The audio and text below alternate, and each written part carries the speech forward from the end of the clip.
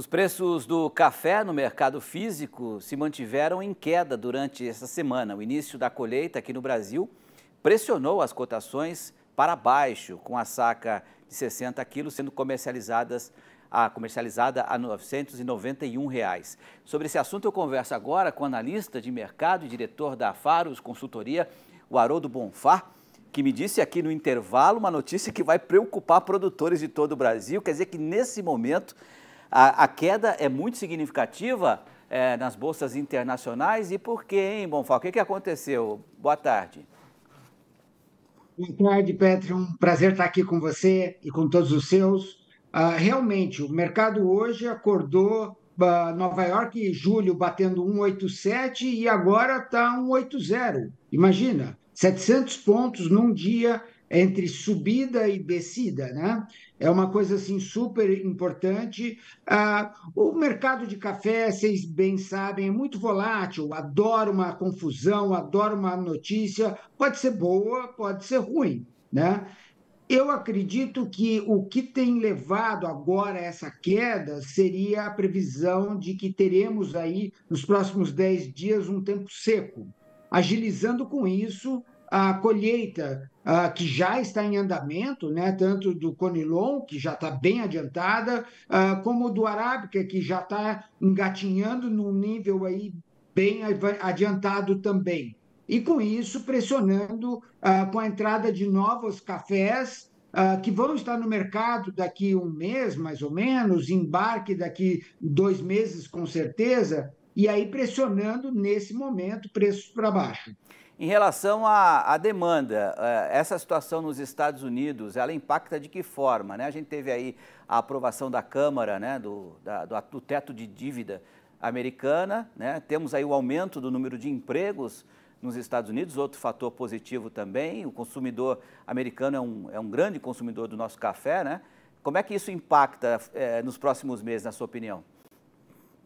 Olha, uh, vamos olhar pelo lado positivo uh, sobrando mais dinheiro uh, no bolso, seja ele do americano, do europeu, ele com isso vai procurar consumir cafés melhores, né? Uh, e com isso dando a oportunidade de você ter aí um aumento, eu não digo a palavra consumo, mas um aumento de preço na venda, né? O consumo, o café, ainda bem, ele é considerado assim um item essencial e eu brinco muito para o humor do, do, das pessoas, né? Então há necessidade, aspas, de se tomar café e com isso, quando ele tem mais dinheiro, ele toma um café melhor. Quando ele não tem tanto dinheiro, ele toma aquele que ele possa comprar, né? Com isso, tendo aí disponibilidade, você falou a palavra mais emprego nos Estados Unidos, ele tendo mais renda, ele vai aumentar o consumo. Lembrando que agora é verão ah, no hemisfério norte, ah, muita pessoas, muitas pessoas já estão aí de férias aproveitando e com isso aumenta sim o consumo fora de casa. Nós estamos falando restaurantes, cafeterias, isso é excelente para o comércio. Sim, do ponto de vista do consumo, é importante que a gente aumente o consumo, até porque a gente pode ter talvez a maior safra da história em bienalidade negativa, né? mais de 54 milhões de sacas aqui no Brasil.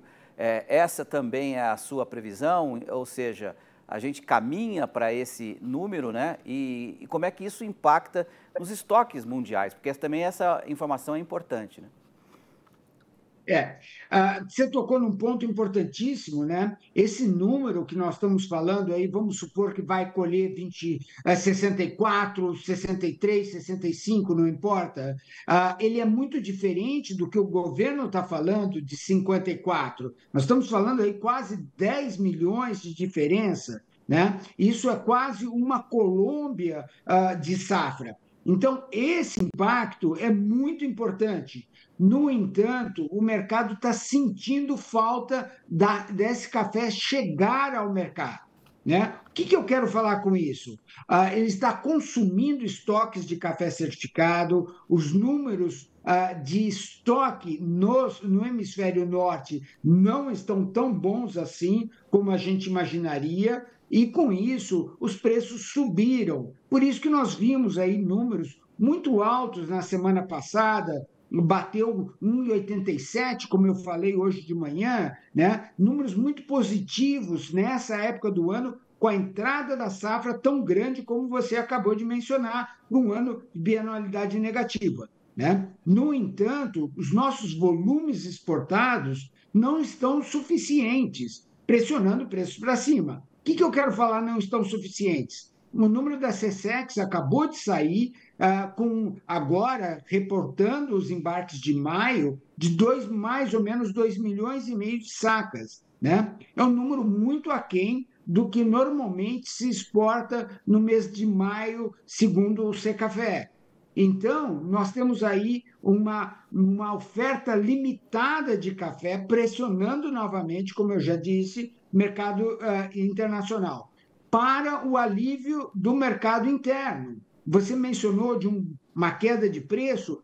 Sim, ele caiu abaixo de, dos mil reais a saca, mas 950, 80, não importa, né? é um número muito, muito razoável para um volume desse que nós estamos aguardando.